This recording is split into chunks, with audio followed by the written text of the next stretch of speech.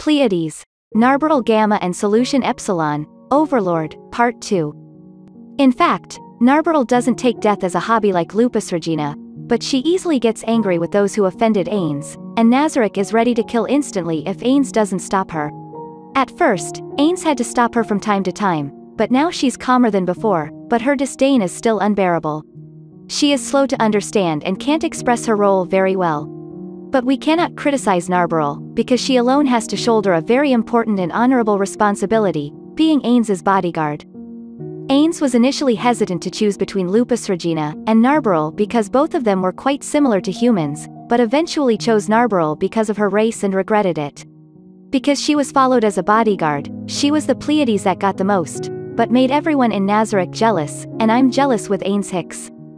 Solution Epsilon. Belonging to the slime race was created by Hero Hero who is a slime man, who was talking to Momonga at the beginning of episode 1 of anime.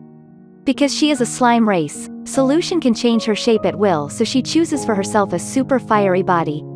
She often appears with an extremely beautiful appearance, which according to the light novel description, the word, beautiful, is not enough to describe her, who possesses blonde hair with curly curls, blue eyes, a hot sexy body like, delicious thick bread. She is also rated on par with the Golden Princess, in my opinion, Renner has absolutely no door. According to my watching anime experience, most of the slime strains are genderless but Solution is different, she is a female slime. With Karma 400, is one of the two most dangerous Pleiades to humans, her slime race is predator slime. A carnivorous slime, she treats humans as toys and food. Whenever she is asked for a reward from Ainz, she usually chooses people that are not benevolent, she likes those who are alive and innocent the most. Her way of hunting is quite similar to a flower that catches prey.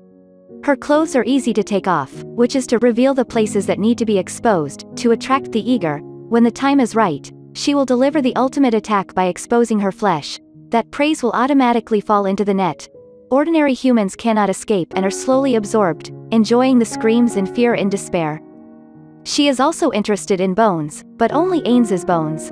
At work, she is smart and sharp, she perfectly does a good job as a slutty miner in the task of gathering information, and her actions about Sebas show that she can analyze and assess situations quite well. She always acts in favor of Nazarick. She is willing to criticize Sebas, her superior, for influencing Nazarick, and when Sebas doesn't stop her actions, she denounced Sebas to Ainz.